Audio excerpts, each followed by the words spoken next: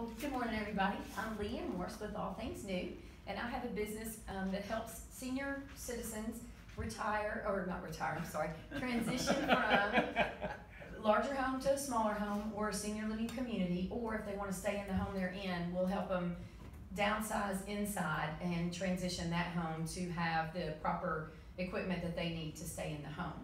Um, when you go through this, it's a pretty traumatic experience, and we try to help them make that as easy as possible. A lot of times, family members aren't in town or can't take off work to make things happen, and that's where we come in and move them through the transition. We'll pack the products or the items, whatever they have, unpack them when we get them to the other location. We can hang pictures for them, make it look like um, when they walk in, they've been living there all along. So um, I'm Lee Ann Morse with All Things New. Thanks.